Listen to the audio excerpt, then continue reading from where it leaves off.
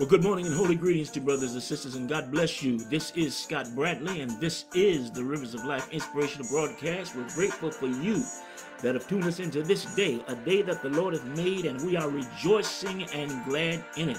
God bless every one of you. I'm asking invite you to come on in and hear a word from the Lord today. The Lord has moved upon us and given us a word, and we want to share it with you that are viewing. I want to encourage you to please hit the share button, as we oftentimes ask you to do. Let other people know that we're on, whether they be near, whether they be far. Also, let us know where you are viewing from. If you are viewing us here in these United States, please let us know.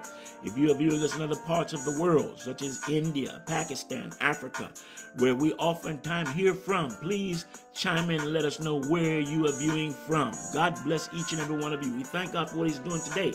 Please visit our website, scottbradleyministries.com. That's just one word, no gaps in between. scottbradleyministries.com. And of course, those of you that are in the Chicago area, we'd like to encourage you to view our church, where yours truly is the pastor, uh, the New Morgan Park Church of God in Christ which is located at 1101 West 111th Place in the city of Chicago, right on the corner of 111th Place in Aberdeen. Our Sunday services start at 11:30 a.m. God bless you. Come on in and let's hear a word from the Lord. Praise be the name of the Lord. God bless. All right. Uh, we have a word that I want to share with you today. I want to go right to the word today. You know, I'm actually uh, these next uh, several uh, broadcast we're doing, we're going to be doing uh, an experiment. Nothing that you're going to be aware of, but I'm, I'm trying to keep it within a certain time because we are considering going with another network in in in, in uh, addition to these that we're on, Facebook, YouTube, and another network. And they've informed us that, that we have to be within a certain time frame. I usually with these usually go uh, usually about 32, 33 minutes, but we've got to cut that down by four minutes.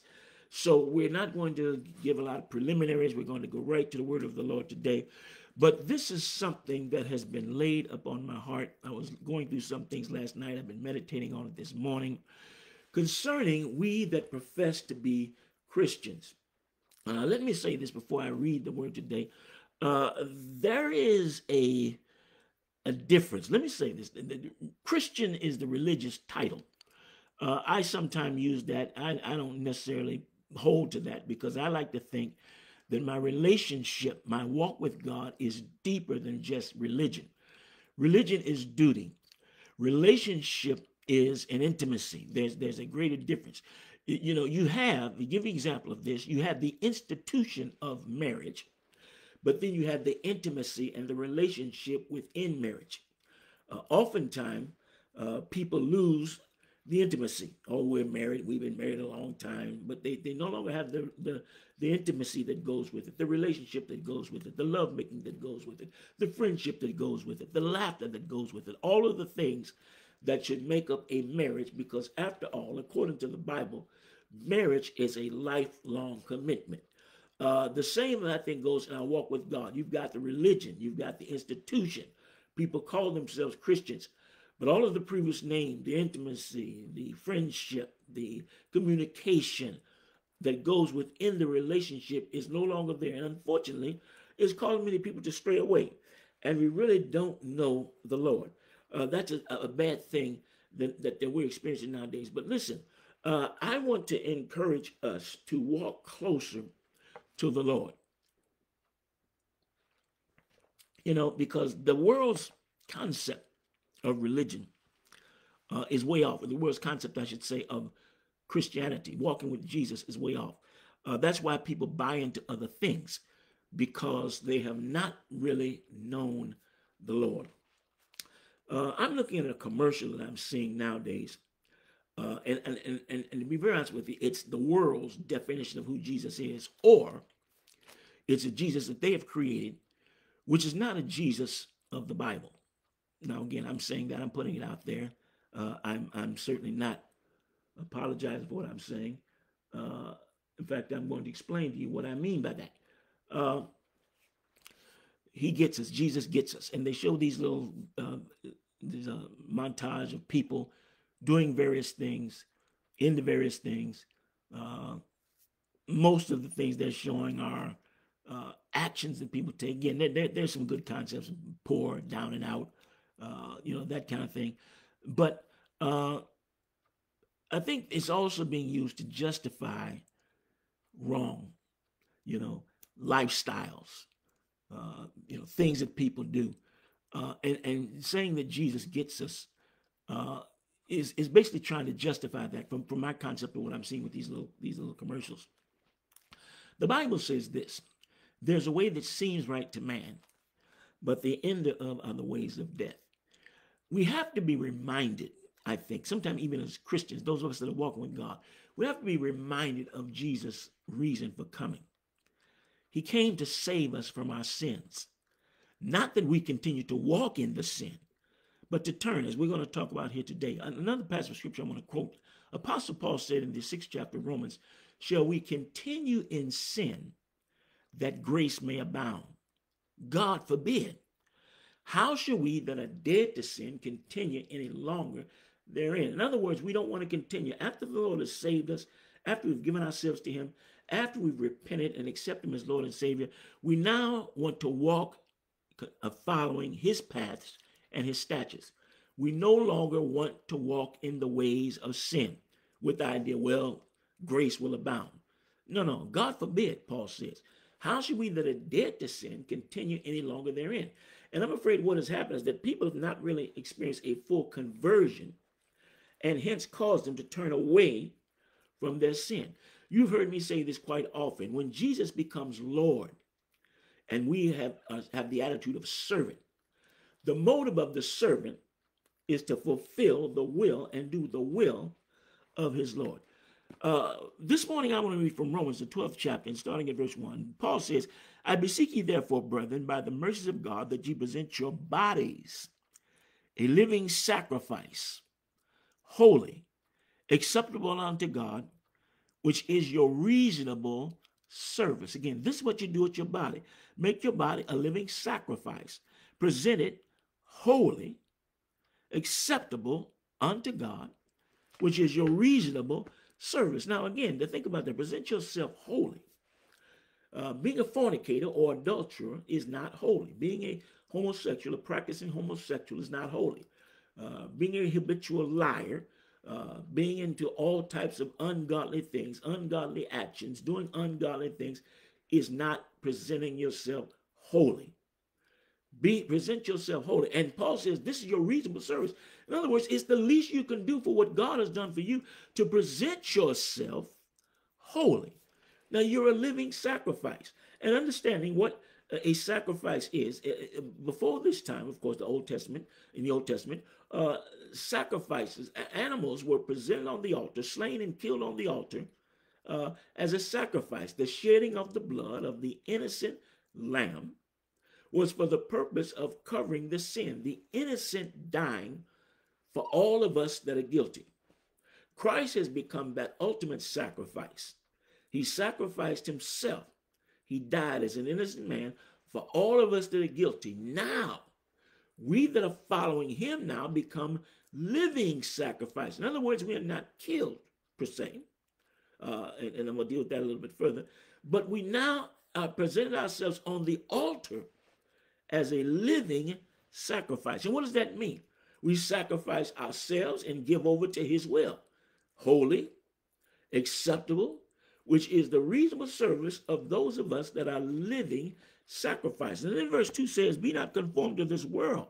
In other words, we can no longer walk in the stature and the ways of the world. Be not conformed to this world, but be transformed by the renewing of the mind. Transformation taking place in the mind. Because when the mind is transformed, the rest of everything falls in line. We, we, we walk right, we live right, we live holy because we have been transformed by the renewing of our mind. I want to deal on that subject today living sacrifice.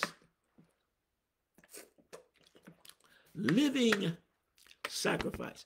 Be not conformed, but be transformed by the renewing of our minds. Praise the Lord. But notice where this takes place. It takes place on the altar. On the altar. What was the altar usually for? Well, the altar was a place of worship. I mean, again, by bringing this sacrifice, uh, the altar was where uh, people brought the sacrifice for their sins. It was part of worship.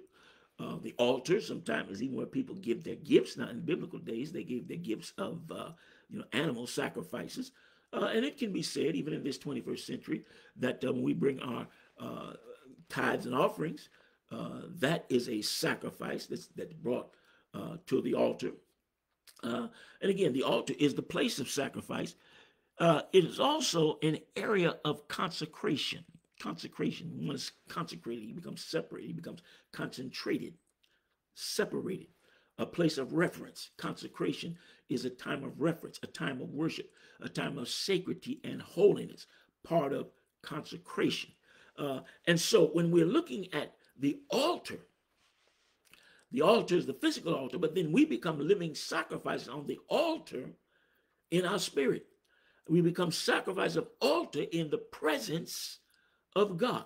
We're still living, but our life is a life of sacrifice. Now, unfortunately, this is the message that oftentimes is not heard in this day and time, particularly in this day and time of prosperity and well-being and and uh, you know uh, uh, just wealth and all that kind of thing. And we're not really thinking sacrificial. Uh, we're thinking uh, wealth and greed. We think of concepts on how we can get rich and and uh, make the Lord a partner. Now, I hear things uh, that I think are quite strange and, and, at the same time quite disturbing.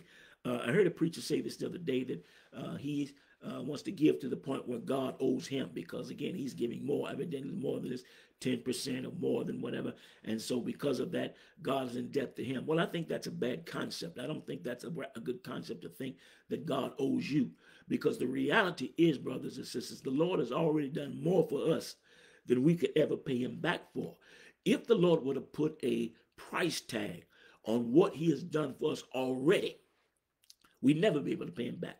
That's why I say that I'm indebted to praise God throughout eternity, not just the rest of my life. And I certainly am indebted to praise him the rest of my life.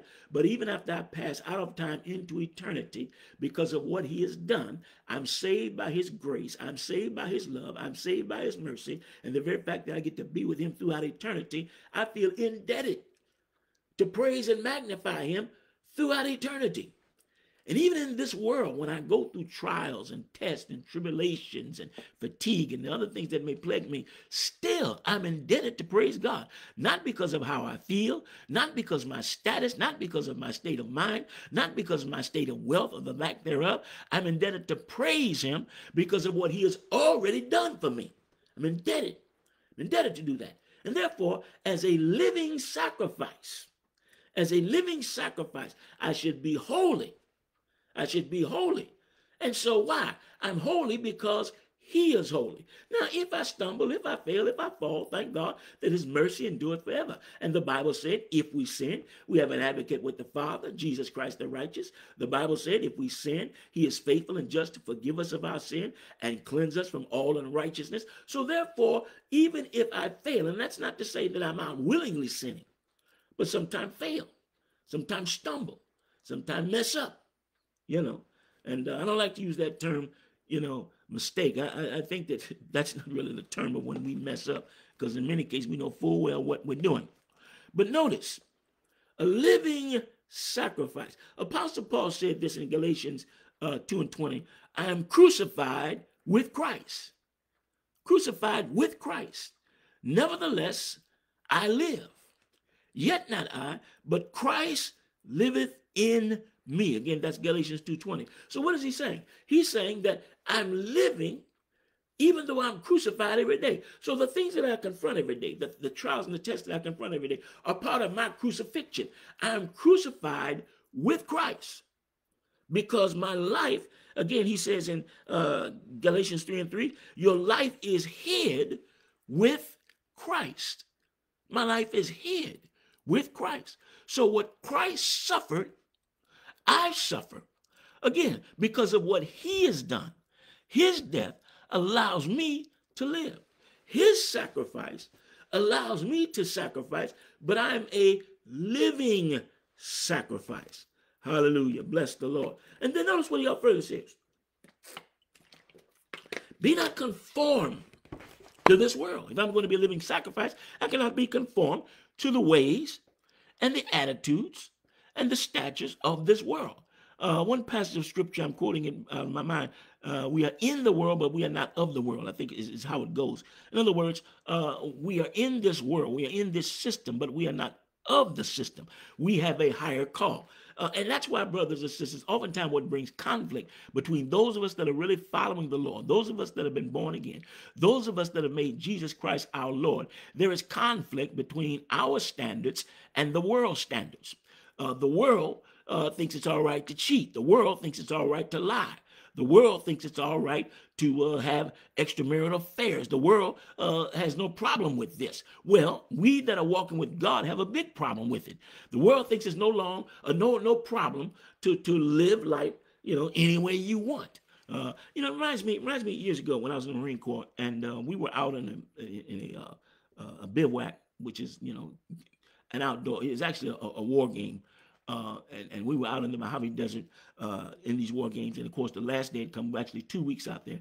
And as we had come to, toward the end, there was a big party, uh, pizza and beer.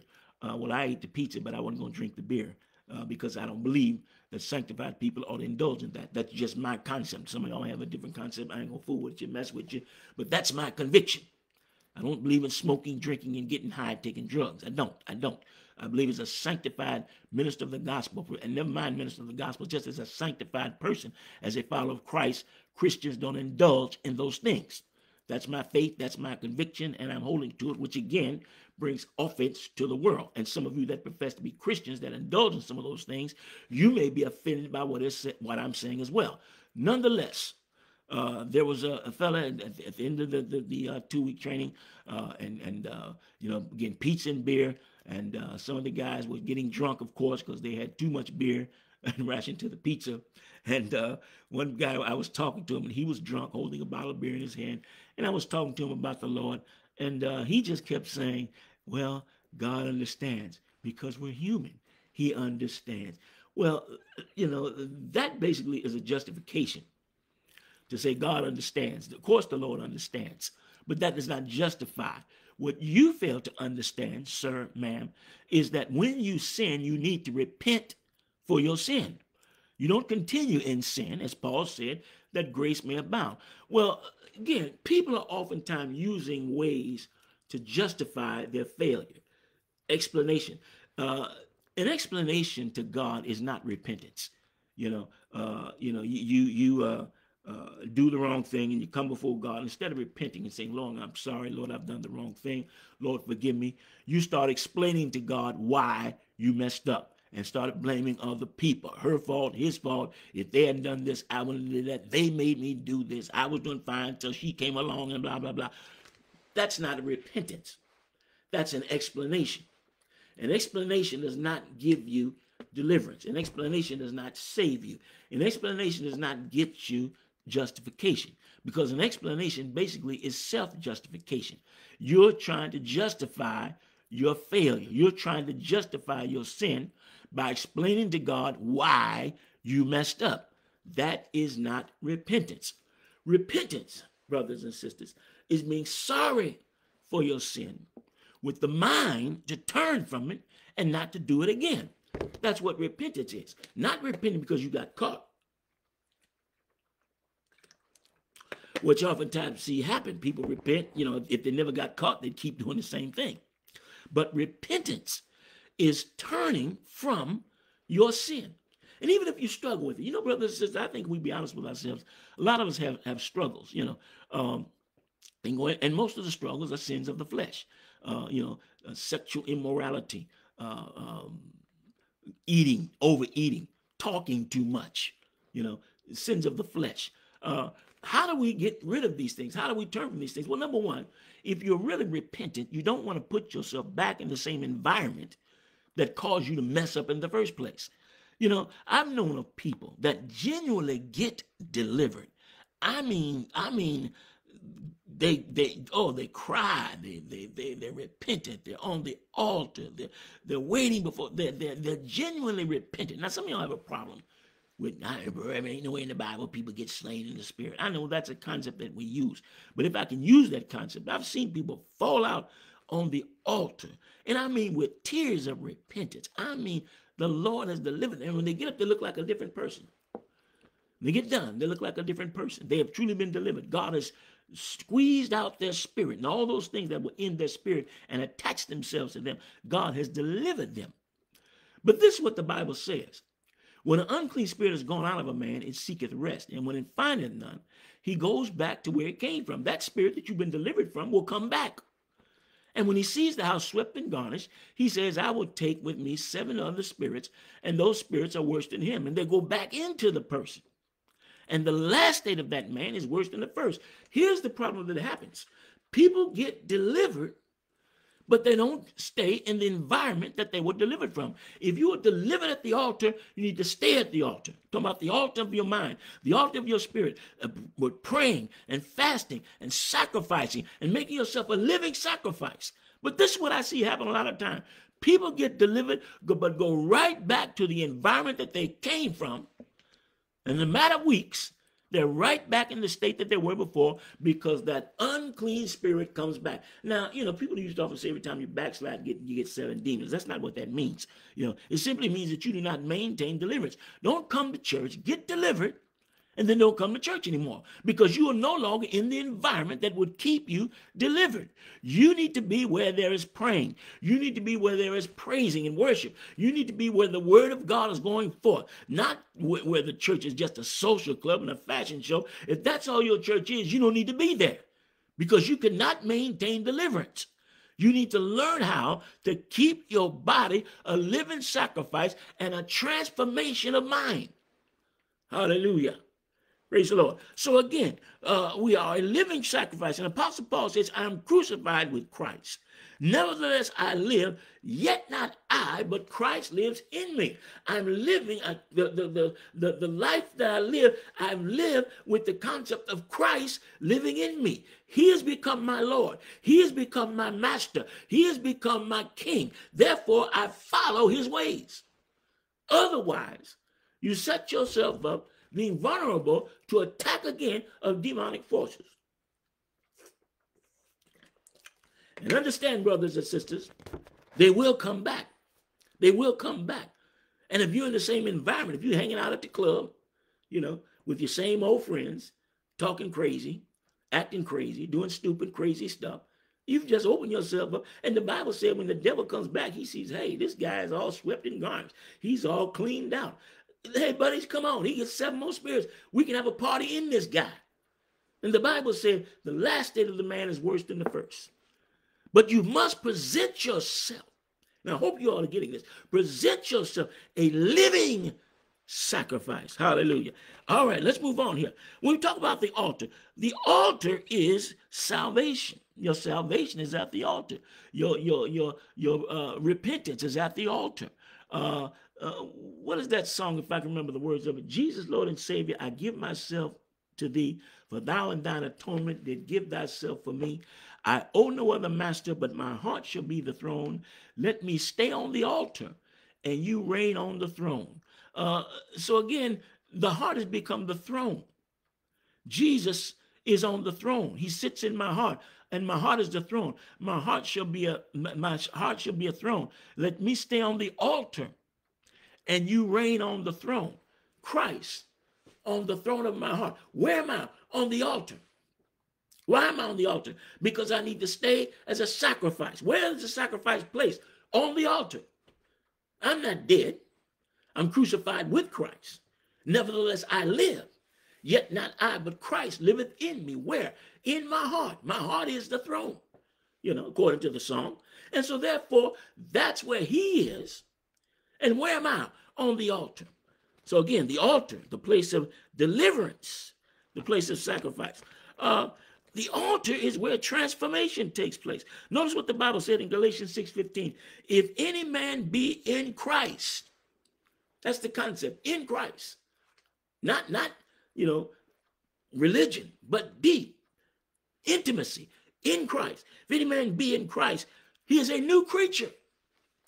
All things are passed away and all things become new. Why? Because my body is on the altar and the old things are sacrificed. The old things are crucified. Now, you know, brothers and sisters, this is a process. Be very honest. It's a process. Uh, they don't always happen overnight. It's a process. But it, it, the process takes place by remaining on the altar. You know, I sometimes hear people uh, say things, and uh, they're, they're some, somewhat amusing, I, I, guess, for lack of a better word. Then again, maybe they're not amusing at all. But I've known of people that'll tell you, say, man, look, don't push me. I lay down my religion. Well, That's easy to do. But when you know Christ, it's a whole different thing. Sometimes you take stuff. Sometimes you swallow stuff. Sometimes you will have to turn the other cheek. Sometimes you have to take insults. See, and a, a dead man will not respond. Uh, I'm crucified with Christ. I'm on the altar. Uh, therefore, I'm basically a, a, a, dead person, you know, even though I'm, I'm living. And again, that, I know that sounds contradictory, but I think you understand the gist of what I'm saying. If I'm on the altar, if I'm crucified with Christ, if I'm hid in Christ, People can insult me. Uh, I told you all before one time I was confronted by a little fellow that began to cuss me out and and and threatening toward me, and I was ready to, to defend myself, and the Holy Ghost told me to shut up. Thank you, Jesus. Yeah, I heard the Holy Ghost say that. Well, again, let me move on because I see my time is, is running here. But again, the, the, there's there's changing on the altar. We become a new creature. On the altar, there is remission. The release. What does remission mean? The release from guilt. Hallelujah. That makes me glad. The release from guilt. Where does that take place? On the altar. While I'm presenting myself on the altar, a living sacrifice, there's a remission from guilt. Notice what the Bible says in Hebrews 9:22, without the shedding of blood, there is no remission from sin.